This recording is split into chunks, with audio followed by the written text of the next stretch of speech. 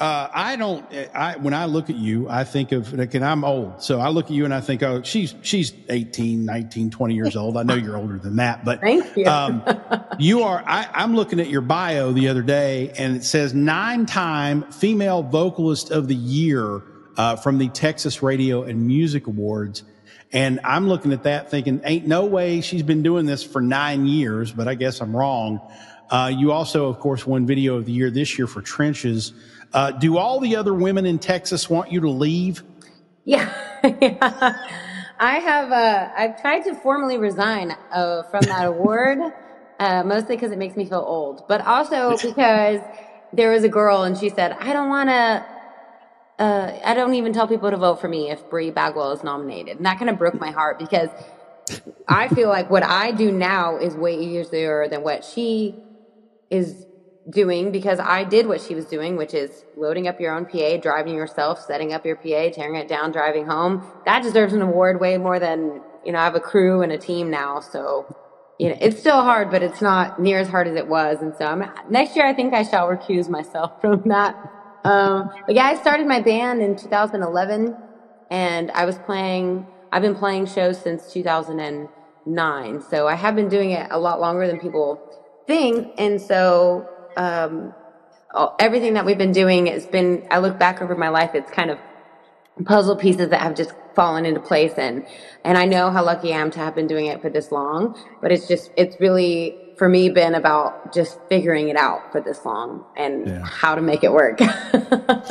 Well, and I, I, love the fact that you kind of tell that story because we've pointed out um, on this show before that when you see someone who gets their big break and they're they're suddenly thrust into the spotlight in the mainstream, you look at their credentials and it's like, oh my God, they've been doing this for 18 years. Right. Like that, this is, there's no such thing really anymore as an overnight success. I guess there are some rare exceptions.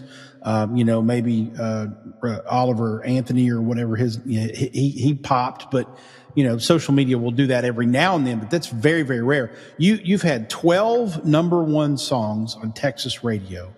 Um, and I commend Texas for tracking that because I don't think other states track how many they have their own radio awards. Um, I'm sure you could make a really good living just in Texas, but my assumption is you're building for that next level, that breakthrough to the mainstream. What do you think is has kept you from making that leap thus far? Yeah, well, I, mean, I just you're exactly right. And I feel like I've kind of hit my head on a lot of things that I'm doing and I'm really ready for the next thing.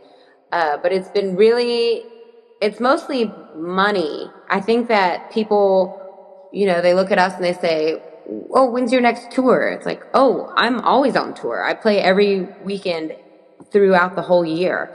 And so it's not like I have, uh, buckets of cash. You can make a good living down here, and that's why we love it so much. But now watching Texas kind of branch out and becoming this cult, you know, people love Texas music, and and seeing people like Cody Johnson really break out and do wonderful. That's like what we're all kind of trying to do. So, um, I have a new agent, and I'm going to I think 12 different states this fall.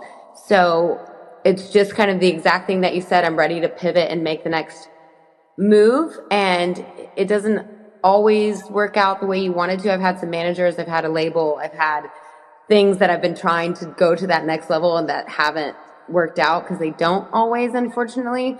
But for me, as long as I can keep playing live music, pay my bills, pay my band, because they all depend on me too, you know, to a certain extent. And now getting to take it to, I'll be in 20 different states this year. Like that's a big, that's a big deal for me. And of course, you know, I would love to be Lainey Wilson like we all would, but it does it doesn't work like that for everyone, unfortunately.